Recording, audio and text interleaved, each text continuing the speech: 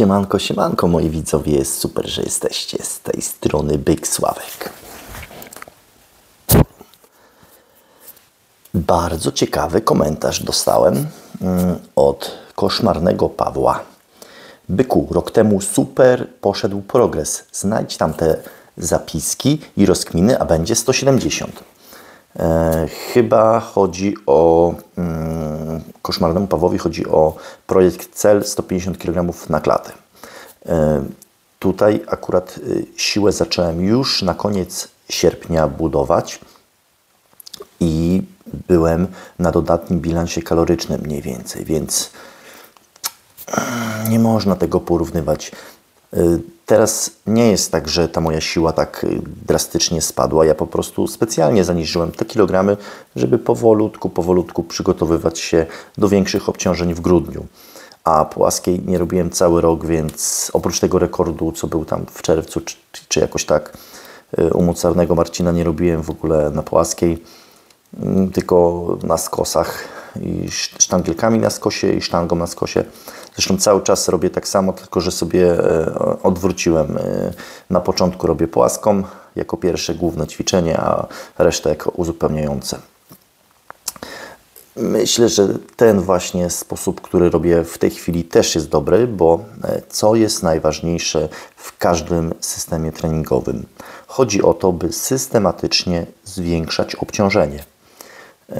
Jeżeli takie coś robimy, to możemy liczyć na to, że w momencie, kiedy już tam dojdziemy do tej swojej górnej granicy, przeskoczymy ją troszeczkę. Tak yy, z doświadczenia po prostu Wam mówię, że coś takiego jest. I te, teraz akurat już yy, wleciało pierwsze cztery seryjki 65 kg. Wiadomo, że poszło gładziutko, oczywiście, że tak, to zanim dojdziemy do tych grudniowych rekordów, to myślę, że te ciężary bardzo powindują do góry, ale będę powoli, systematycznie je zwiększał. No i ta ostatnia, piąta seryjka robocza, już 20 kg dokładamy i dwa powtórzenia. 85 kg też gładziutko, bez żadnego problemu.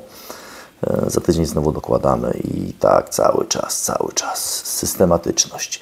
Trzeba dziubać, dziubać, dziubać i jeszcze raz dziubać swoje, aż osiągniemy zamierzony cel. A celem w tej chwili jest to, żeby bo siły nie zbuduję na deficycie. To chyba nie muszę nikomu tłumaczyć, a może niektórym muszę, że siły raczej się nie zbuduje na deficycie, aczkolwiek jak ktoś zaczyna trenować, to y, widziałem taki przypadek, że y, facet był cały czas na deficycie, a ta siła wzrastała.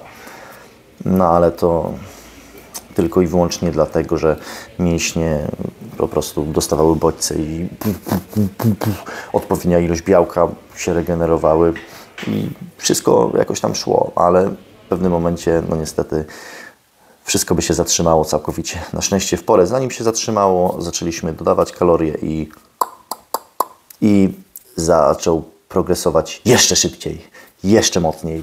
Jest, jest teraz naprawdę świetnie ale to tylko u początkujących. Jeżeli ktoś już bardzo wiele lat już przetrenował, to na deficycie myślę, że nie zbuduje siły. Jedyne, co może się odezwać, to pamięć mięśniowa. Mm, jeżeli chodzi o mnie, no to pewnie najprawdopodobniej te moje rekordy, które teraz zrobiłem na trabarze i na bary, które zrobiłem na redukcji, to jest po prostu siła, która już wcześniej była e, wygenerowana, a teraz e, po prostu przyzwyczaiłem te swoje mięśnie do coraz to większych obciążeń, zwiększałem, zwiększałem, zwiększałem. E, uruchomiła się pamięć mięśniowa, no i, i dlatego pobiłem rekordy życiowe. Tak sobie to tłumaczę. Jeżeli się zgadzacie ze mną, piszcie w komentarzach. Jeżeli się nie zgadzacie, no to też napiszcie. Chętnie wysłucham. Może na jakiś komentarz odpowiem też w formie filmu. Niech się coś dzieje. Miłego, piąteczka.